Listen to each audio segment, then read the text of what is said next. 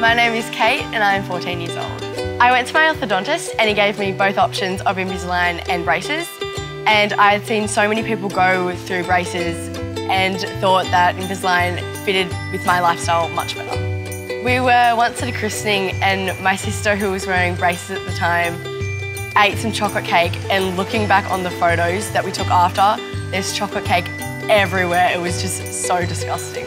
I put in new aligners every two weeks and at first there's a little discomfort, but by the morning that's all gone.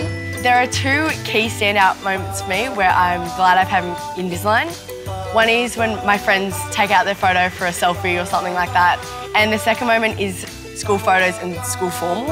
Um, when we take the photos, I get, you know, a nice clear smile and they have braces, so it's really good to have it.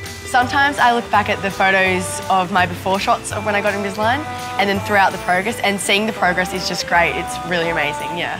My friends are extremely jealous of my Invisalign treatment while they have braces. It's just so simple and so easy and just nice. It's nice to smile.